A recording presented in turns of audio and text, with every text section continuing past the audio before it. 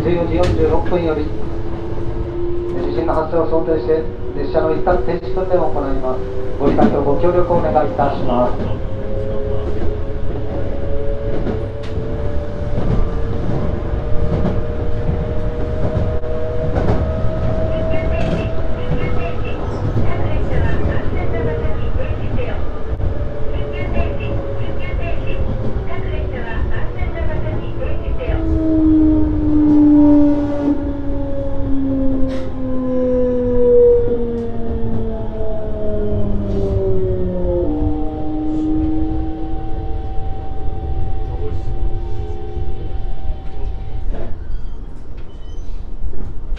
客様にお知らせいたします。ただいま地震の発生を想定して列車の一旦停止訓練を行っております。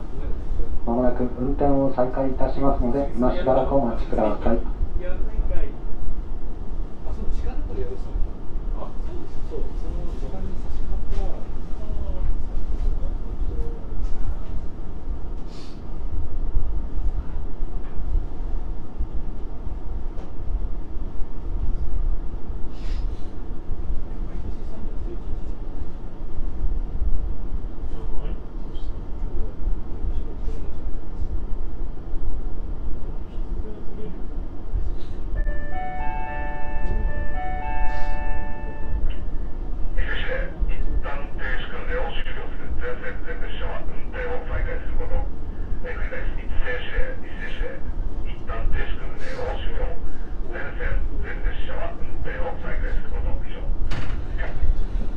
ただいま列車の一旦停止訓練を終了いたしました。ご協力ありがとうございました。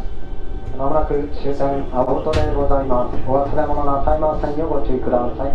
町屋日暮里上野方面下のホーム2番線をお乗り換えください。特急上野行き53分。各駅停車上野行き55分です。高砂八幡船橋成田空港方面。北東線成田タイヤ全線降りました。ホームでお待ちください。特急成田空港行き49分各駅停車津田沼行き58分北斗線各駅停車インバー日本第一15時2分。アクセス特急成田空港行き15時1分です。終点青